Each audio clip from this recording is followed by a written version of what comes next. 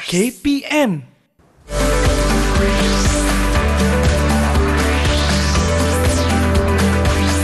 Didik TV KPM Irfan. Ya, cikgu. Cikgu ada duit. Ada duit. Ya. Dapat duit. Cikgu bagi saya ke? Mari kita bagi. Kita bagi bagi Boleh, lah. boleh, Cikgu boleh. nak juga. Okeylah, Okey, bagi okey. saya dulu. Cikgu. Satu untuk cikgu. Okey. Satu untuk Irfan. Baik. Satu untuk cikgu. Mhm. Satu untuk Irfan. Okey. Dua untuk cikgu. Satu untuk Irfan. Macam lain je. Satu untuk cikgu. Ha? Satu untuk Irfan. Okey. Satu untuk cikgu. Mari kita kira. Ifah kira, Ifah kira. Satu ringgit. Dua ringgit. Tiga ringgit. Empat ringgit lah cikgu Ifan ada. Cikgu ada berapa? Cikgu ada enam ringgit. Mana boleh Ifan empat cikgu enam. Cikgu lebih. Ha, cikgu lebih. Baik. Macam ni salah lah cara kita bahagi. Oh, cara bahagi? Ha. Tapi ada ke cara betul nak bahagi macam mana cikgu? Wah, kita kena masuk kelas macam ni. Ah, jumlah tak boleh ni satu tak cukup ni cikgu ada enam Ifan ada empat. Alah, tak apalah jomlah masuk kelas dulu.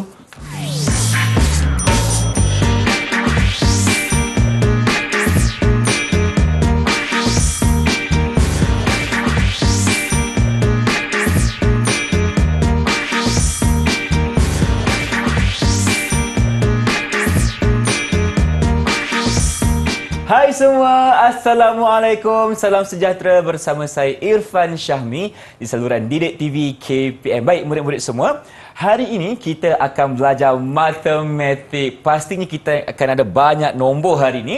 Tapi kita akan bersama dengan seorang guru. Ifan persilakan Cikgu Syarif Osman iaitu guru besar dan guru matematik dari SK Seri Samudra Seri Manjung Perak. Assalamualaikum Cikgu, apa khabar? Kesalahan Imran. Sihat cikgu eh? Sihat, Alhamdulillah. Alhamdulillah. Terima kasih kerana bersama Ifan hari ini.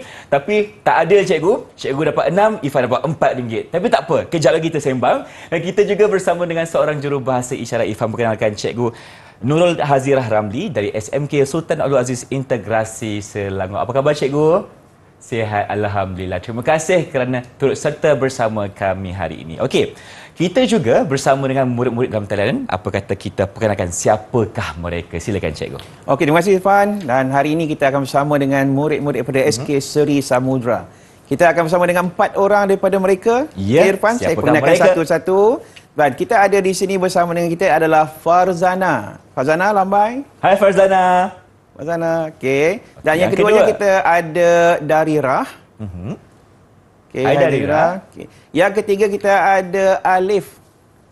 Alif. Okey. Dan yang keempat kita ada Nafis Imran. Nafis, cantik rambut sama macam Irfan dekat sini. Okey. Baik, kita akan bersama dengan dua murid uh, perempuan dan dua murid lelaki hari ini untuk mata pelajaran matematik. Dan yang Irfan tahu kita akan belajar tentang bahagi, cikgu betul ke? Betul, kita akan belajar bahagi. Kita nak baiki balik kelemahan kita bahagi tadi. Betul cikgu. Jom kita mulakan. Okey, terima kasih Irfan.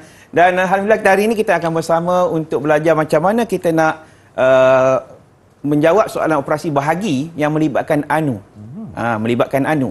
Okey, dan di sini kita akan belajar berkaitan dengan tahun 5 dan kita akan bermula dengan konsep anu Irfan. Yelah cikgu, Irfan pun tak faham. Anu Ya. tu apa sebenarnya? Baik, kita tengok dulu apa perkataan ataupun istilah yang sesuai. Anu ialah sesuatu nilai atau bilangan yang tidak diketahui. Dia daripada perkataan unknown.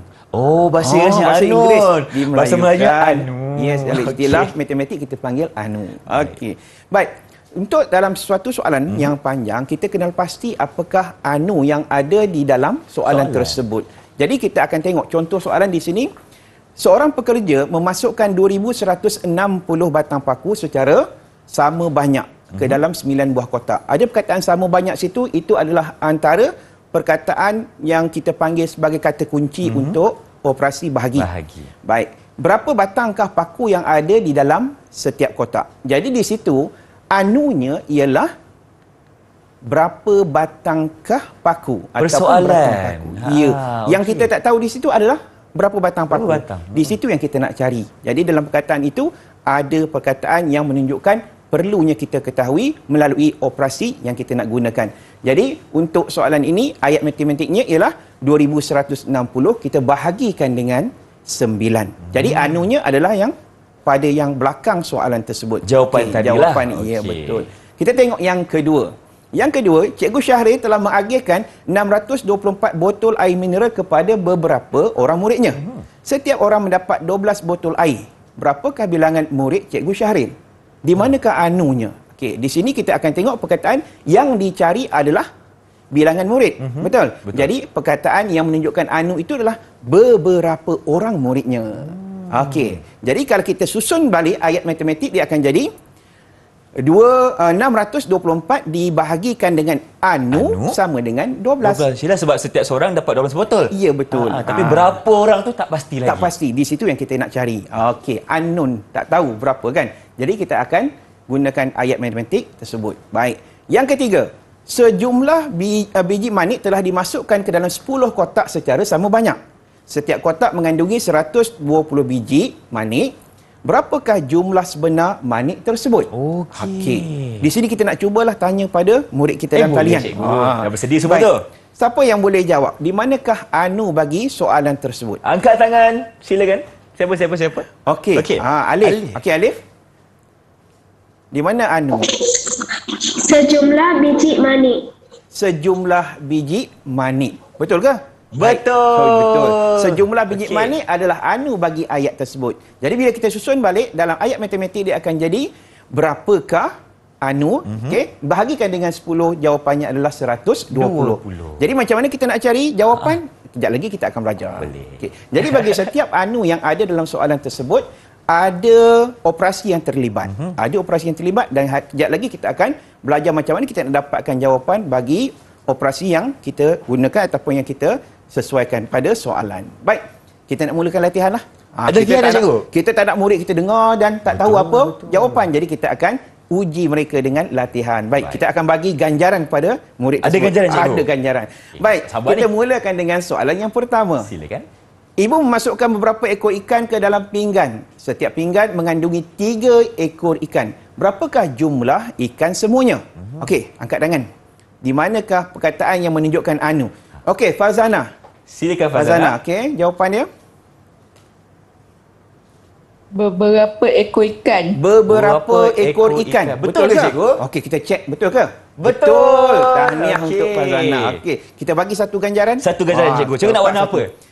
Uh, merah. Warna merah. Ah. Okey, satu warna merah untuk, untuk Fazana. Fazana. Okey, tahniah Fazana. Kita tengok soalan yang kedua. Mari kita. Soalan yang kedua. Sebuah balang hmm. boleh diisi dengan 90 biji butang. Okey. Berapa buah balangkah yang diperlukan untuk mengisi 112,050 biji butang? Okey, siapa nak jawab? Silakan, murid-murid cikgu. Ah, Nafis. Nafis, okay. Nafis angkat tangan dulu. Rambut okay. cantik. Silakan. Rambut cantik. Uh, berapa buah balang? Okey, yang ditanya adalah berapa buah balang. Yang kita tak tahu yang berapa buah balang. Betul. Baik, itu adalah anu. anu. Okey, betul ke? Betul. Betul. Tahniah okay. untuk Nafis. Warna apa je cikgu nak bagi? Warna kuning. Warna kuning untuk hmm. Nafis. Okey, cantik. Warna kuning untuk Nafis. Okey, tahniah Nafis. Soalan yang ketiga. Ada lagi. Oh, ada lagi. Kita cuba lagi tengok pemahaman mereka. Sebanyak 1,800 helai kemeja telah dimasukkan ke dalam beberapa kotak untuk diedarkan. Setiap kotak mengandungi 120 helai kemeja. Berapakah bilangan kotak yang digunakan? Okey. Siapa nak cuba? Silakan murid-murid. Okey. Okey, Darirah. Ah, Darirah. Darirah. Silakan. Beberapa kotak. Beberapa kotak. Dan dah yakin ke dengan jawapan tu? Okey, kita semak.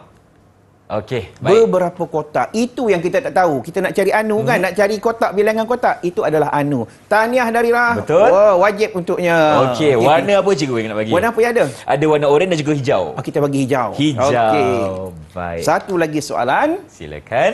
Sebanyak 5,640 buah buku dicetak oleh syarikat percetakan dalam masa seminggu. Berapakah bilangan buku yang dicetak dalam masa satu hari? Siapa nak, nak jawab? jawab? Siapa nak jawab? Angkat tangan, angkat tangan. Okey, okay, Alif. Alif. Alif. Apa? Okey, Alif, apa jawapannya? Berapakah bilangan buku? Okey, berapakah bilangan buku? Hmm. Itu yang kita tak tahu. Betul. Jadi itu yang kita kena cari. Yang kita nak cari itulah adalah anunya. Okey, kita semak betul ke? Ada tak? Jawapan Tepat betul sekali. sekali. Okey, okay, tahniah tanya. untuk Alif. Jadi kita bagi satu lagi ha okey okay, warna oren pula warna untuk Alif. Baik okay. murid-murid, nampaknya kita dah faham sebenarnya anu ini adalah satu persoalan yang dalam soalan kita tak faham dan kita nak cari apakah nilai anu tersebut. Ya, betul. Baik cikgu, jadi apa kata kita berhenti berehat seketika teruskan bersama kami dalam slot tahap 2 Didik TV KPM.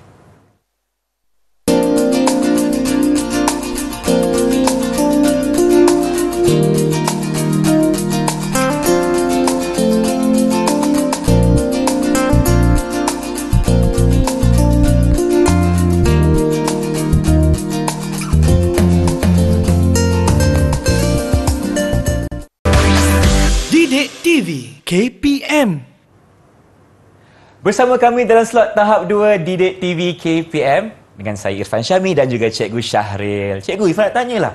Untuk soalan yang ada anu ni, kita nak guna operasi apa eh? Okey, dia ha. ada dua operasi biasanya. Dua operasi. Yang okay. pertama ada operasi bahagi, bahagi dan yang keduanya ada operasi darab. Oh. Okay. Jadi yang mana operasi yang kita nak gunakan mm-hmm. itu yang kita akan belajar lepas ni. Silakan. Okey. Baik, kita teruskan untuk melihat slide.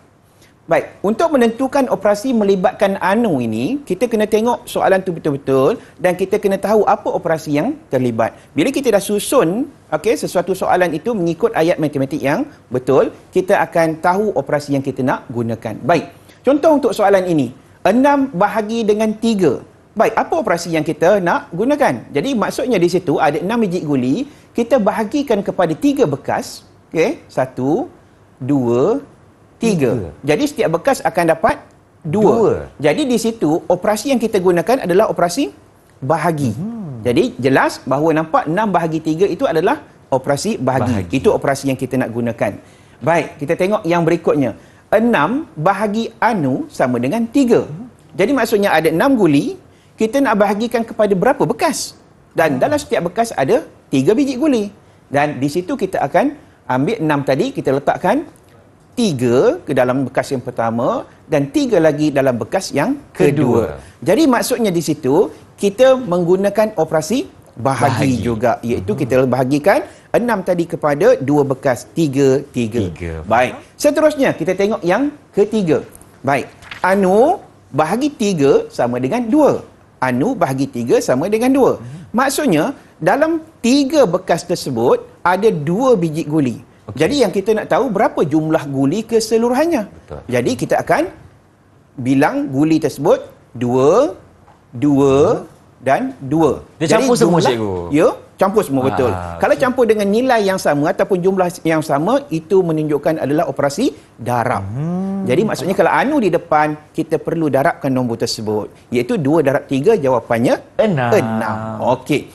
Now kita akan tengok. Ah, kita terus dengan latihan. Latihan kita nak terus? Uji. Aish, kita nak uji terus. Sebab kita tak nak ada yang tertinggal. Dia Betul. belajar-belajar terlupa Mungkin ada yang mengantuk ke? Jangan. Ah, ya, betul. Baik. Okey. So untuk soalan ini kita akan bagi soalan dan kita nak tentukan operasi. Kita bukan nak tentukan jawapan lagi. Oh, belum lagi, ya? Belum lagi. Kita dengan nak ni. tentukan operasi. Okey, Baik. boleh. 5642 bahagikan dengan 7. Mhm. Baik, kita nak tengok apa jawapan murid-murid yang ada di rumah dan juga dalam talian. Apa operasi yang kita nak gunakan? Siapa Okey, nak siapa nak mulakan cuba? dulu? Angkat tangan laju-laju. Apa operasi kita nak gunakan? Okey, Alif. Okey, Alif. Alif dulu. Okey, Alif, apa jawapannya Alif? Operasi apa? Operasi apa Kita yang kita kena guna? Kita kena menggunakan operasi bahagi. Baik, operasi bahagi betul tak? Betul ke, cikgu? Betul, betul. Operasi bahagi, Wah, cikgu bagi dapat 6 bintang. bintang. Okey. Cikgu bagi 6 bintang. Gajian nak bagi tak cikgu? Kena bagi. Okey, Ah, kita, ikut warna lah eh. Alif akan dapat Okey. lagi satu warna oren. Tan ya. Baik. Okey. Kita tengok yang kedua. 46,592 bahagi anu sama dengan 32. Okey, siapa nak jawab soalan ini? Banyaknya nombor cikgu takut lah Ifan tengok. Ya, betul. Darira angkat dulu. Okey, okay, silakan. Apa operasi yang kita nak gunakan? Kita memerlukan operasi bahagi. Operasi bahagi. Kalau anu di tengah, Okey. kita kena gunakan operasi bahagi. Maksudnya pada nombor tersebut, 46,592 kita bahagikan dengan 32. 32. Jadi kita bagi 6 bintang. Tahniah Darira. Darira. Satu lagi mata ganjaran Abang Ifan bagi. Okey, warna Okey. hijau. Cantik. Baik. Jadi maksudnya kita dah nampak bila anu di hujung ataupun di belakang, kita akan gunakan operasi bahagi. Bahagi. Kalau anu di tengah, kita akan gunakan operasi Bahagi bahagi. juga. Ya, jadi kita akan selesaikanlah operasi tersebut. Yang penting kita tahu operasi yang kita nak gunakan. Baik, kita tengok soalan yang ketiga. Mari kita. Baik. Anu bahagi dengan 4, jawapannya ialah 5123. Alamak. Okey, anu di depan. Kat Siapa depan nak jawab? Ah, macam Oh, mana murid-murid? Siapa nak jawab? Ha, Siapa cikgu pilih, cikgu pilih, cikgu pilih. Oh, Okey. Fazana, Fazana. Okey, semua angkat tangan cikgu. Bahaya Semua ni. angkat tangan. Cikgu pun terkejut Fazana. sekejap. Siapa nak jawab? Okey, Fazana. Silakan. Apa operasi kita nak gunakan? kita kena gunakan operasi darab. Operasi Darab. darab. Baik, tadi kalau kita belajar Okey. yang tadi, Aha. kalau kita tengok yang guli tadi, Okey. macam mana kita nak tahu jumlah guli? Maksudnya kalau cikgu tunjukkan yang gambar atas, ah, yang menaik tadi kan itu Okey. maksudnya operasi darab. Darab. Jadi Fazana punya jawapan betul. Tahniah. Tahniah Okey. untuk Fazana. Oh, Ifan bagi lagi satu warna merah cikgu eh. Boleh Ya, eh? boleh. Okey. Cantik. Maksudnya sekarang ni untuk soalan itu 5123 kita akan darabkan dengan 4 Mhm. Empat. untuk tahu jumlah ataupun Baik. soalan yang berdasarkan soalan tersebut. Okey, baik. Satu ada lagi ke soalan? Ada lagi, cikgu. Ada lagi kita semak satu lagi. Ada soalan? Okey, ada lagi. Baik, 6642 kita bahagikan dengan anu sama dengan 54. Okey, siapa nak jawab ni? Okey, siapa? Okey, siapa? oh, Nafis Silakan. angkat dulu. Okey, Nafis. Silakan Nafis. Uh, kita perlu menggunakan operasi bahagi. Okey, kita kena uh, gunakan operasi bahagi. Betul ke? Okey, betul ke, kita cikgu? tengok anu tu di tengah. Bila anu di tengah, sama tak dengan soalan yang kedua tadi? Sama lah cikgu. Sama. Jadi operasi yang kita gunakan? Operasi, Operasi bahagi. bahagi. Kita bagi bintang pada Wah, Nafis. Dan satu mata ganjaran cikgu Ya, eh. betul. Okey, tahniah semua. Baik, kita dah faham sebenarnya. Okey, kalau contohnya, kalau anu dekat belakang sekali, kita gunakan bahagi. Ya. Anu dekat tengah pun bahagi. Tapi kalau anu dekat depan, kita gunakan operasi Darab. darab. Okey, baik. Tahniah semua dan terima kasih Cikgu Syahril. Jadi, kita ingin berhenti berehat seketika. Teruskan bersama kami dalam slot tahap 2 untuk matematik eh, tahun 5.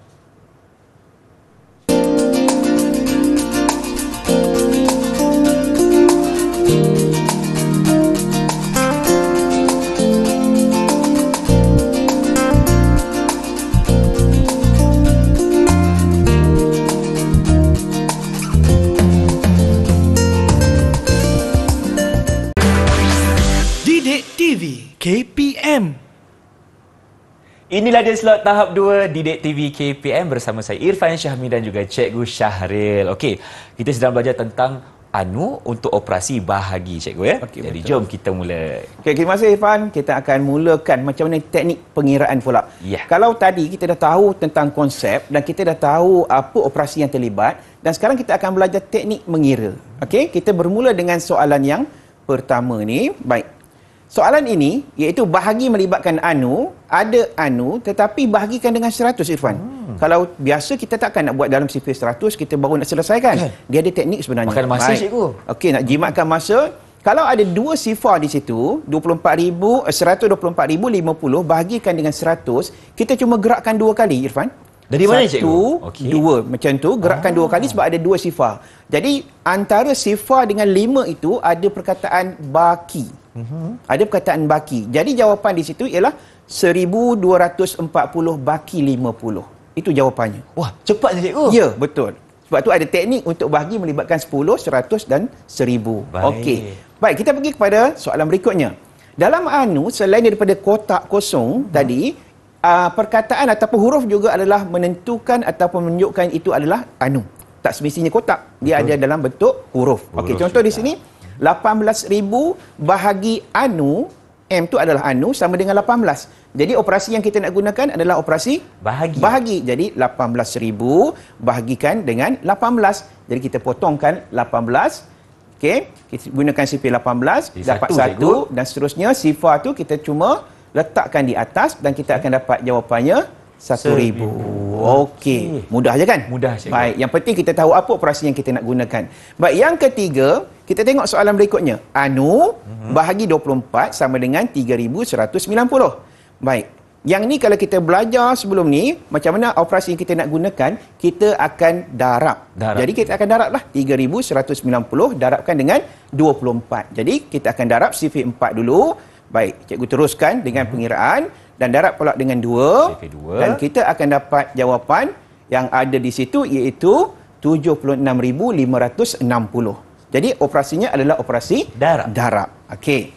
Baik, kita tengok yang berikutnya.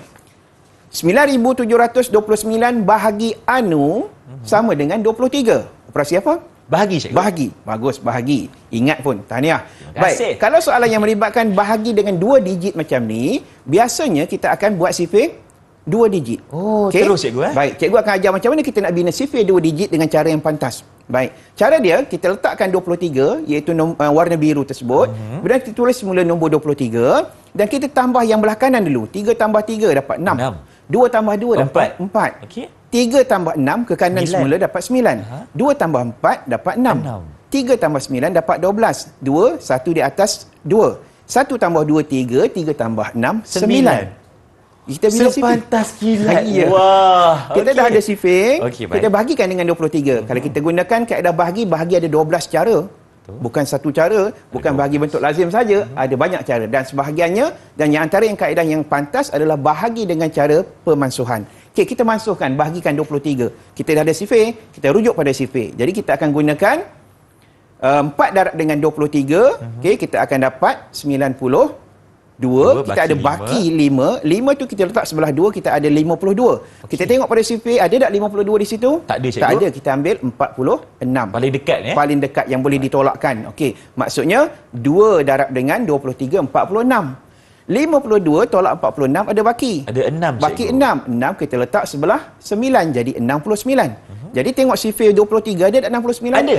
Berapa? Tiga. Tiga. Bagus. Tahniah. Jadi kita letakkan tiga dan jawapannya adalah 423. Wah, mudahlah cikgu. Ya, eh, kenapa cikgu tak ajar saya dulu? Sekarang kita nak Okey. gunakan. Itu salah satu cara kita gunakan. Baik, dalam bahagi dengan dua digit, saya nak ajar satu lagi teknik iaitu kita uh, kita pisahkan, okey, kita Mhm. pisahkan. Contoh soalan ni 3465 bahagi dengan 15. Bahagi dengan 15, kita pisahkan 15 itu kepada dua digit. Okey, apa darab apa 15? Irfan? Macam mana cikgu? Apa darab apa jawapannya 15? Tiga 3 darab lima. Ah, 3 darab 5 15 Ha-ha. ataupun 5 darab 3. Baik. Jadi kita pisahkan nombor tersebut untuk kita dapatkan pembahagian dua kali. Hmm. Okey. Sekarang ni kita tengok nombor ni Irfan. Antara contoh nombor lain yang kita boleh pisahkan. Ya. Contoh 36. 36 kita boleh buat 9 darab 4. Betul juga. Okey, Ah. ataupun 6 darab 6. Jawapannya sama. Ataupun 4 darab 9. Kalau bagi 24, sifir 24 ataupun kita nak bahagikan dengan 24, kita pisahkan nombor tersebut 8 darab 3 ataupun 4 darab 6 ataupun 3 darab 8. Ada tak nombor lagi yang perlu kita gunakan ataupun boleh kita gunakan? Apa lagi, Ada cikgu? nombor lain. Perasan tak nombor apa? Itu nombor empat cikgu. Ah, enam kali 6 empat. darab 4. Okey. Okey. Okay. Kita boleh buat 4 darab 6 ataupun 6 darab 4. Terbalikkan saja. Ya, betul. Macam mana kita nak gunakan? Baik, kita tengok pada slide. Kalau bahagikan dengan 3 darat 5 bagi soalan tersebut, kita bahagikan dengan 3 dulu. Okay. Bahagikan dengan 3 satu dulu. Satu eh? 3 ya, dulu. Satu okay. dulu. Satu-satu satu dulu. Okey. Kita bagi 3. Dapat 1. Kemudian 1 darat 3 ada baki.